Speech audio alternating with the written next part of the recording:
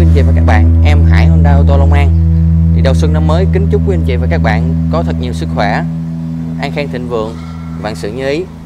Thì sau những cái ờ, clip review về ngoại thất và nội thất của Honda City 2021 rồi Thì hôm nay em sẽ làm một bài à, đánh giá Nói về những cái trang bị option mà Honda City 2021 tại thị trường Việt Nam bị cắt đi so với à, Honda City tại thị trường Thái Lan và thị trường Ấn Độ. Xin mời quý anh chị cùng em tìm hiểu nhé. Thì khác biệt đầu tiên đó là về phần động cơ. Thì động cơ ở trên Honda City 2021 tại thị trường Thái Lan và thị trường Ấn Độ sở hữu khối động cơ 1.0 lít turbo tăng áp 3 xi lanh thẳng hàng cho ra công suất 122 mã lực. Còn tại Honda City, tại thị trường Việt Nam thì sử dụng khối động cơ 1.5 lít hút khí tự nhiên 4 xi lanh thẳng hàng cho ra công suất 119 mã lực thì như đó có anh, chị có thể thấy là à, động cơ 1.0 thì cho ra 122 mã lực còn 1.5 thì cho ra chỉ có 119 mã lực thôi. Thì về à, tiêu hao nhiên liệu thì tất nhiên là cái động cơ 1.5 nó sẽ tiêu hao nhiều hơn so với động cơ 1.0 tăng áp. À, thì về lâu về dài thì cái động cơ tăng áp nó sẽ không bền bằng cái động cơ hút khí tự nhiên và cái chi phí thay thế nước làm mát à, nhớt máy của mình thì nó sẽ đắt hơn và cái ờ, cái thời gian thay thế nó sẽ nhanh hơn so với động cơ hút khí tự nhiên. Và cái nhược điểm thứ hai của tăng áp đó là về cái độ trễ chân ga. Dạ. Rồi, option bị cắt tiếp theo đó là về chức năng an toàn cơ bản của xe. Thì CT tại thị trường Ấn Độ và thị trường Thái Lan được trang bị gói uh, Honda Sensing. Thì gói Honda Sensing này chỉ được trang bị trên Honda CRV thôi nha anh chị rồi thì ở vị trí này trên City của Thái Lan và Ấn Độ thì nó sẽ có thêm một nút là cài đặt Honda Sensing và à, phanh giảm thiểu va chạm CMBS thì về Việt Nam thì các nút này nó chỉ còn có một nút là à, bật tắt hệ thống cân bằng điện tử VSA mà thôi. Rồi tiếp theo về phanh tay điện tử.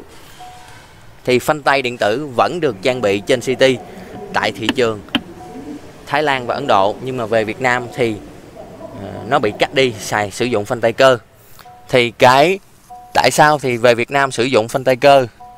Thì như anh chị cũng đã biết thì sử dụng phanh tay điện tử, thứ nhất, giá thành nó sẽ rất là cao và tăng cái chi phí ờ, cạnh tranh lên so với các đối thủ.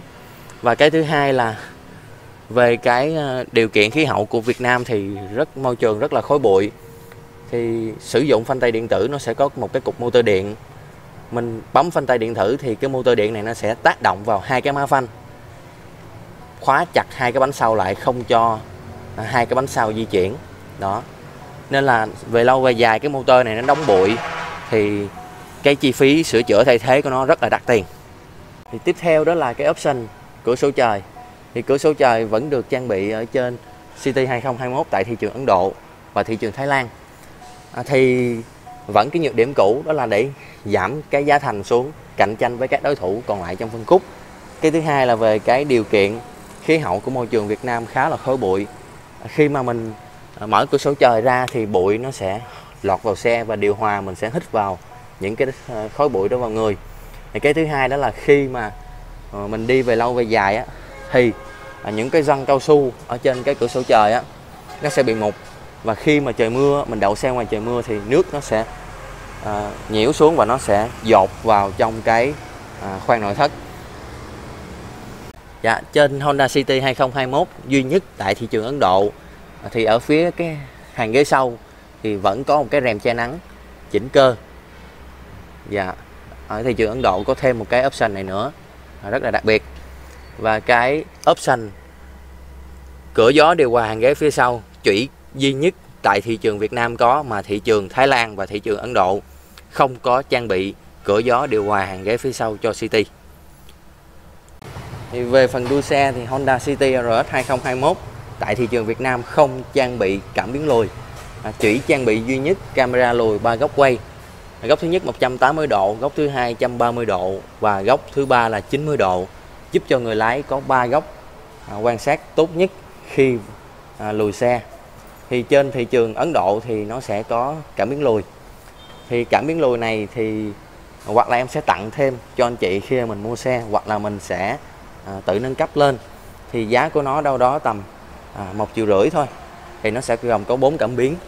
Cảm biến gốc bên đây một hai cảm biến lùi hai ba và cảm biến gốc bên đây nữa là 4 dạ thì bốn cái cảm biến này combo nó là một triệu rưỡi.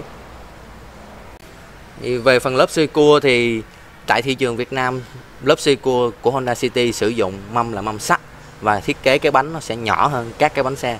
Còn lại thì tại thị trường Thái Lan và thị trường Ấn Độ thì cái mâm xe cua thì nó cũng giống y chang các cái mâm còn lại trên xe.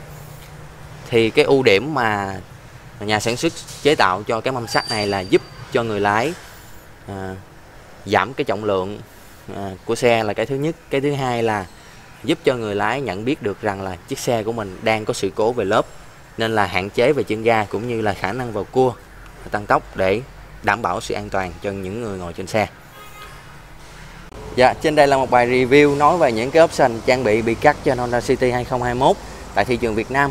À, nếu mà anh chị có những cái ý kiến thắc mắc, phản hồi thì cứ à, comment, bình luận vào phía bên dưới em sẽ phản hồi tích cực à, những cái bình luận của anh chị.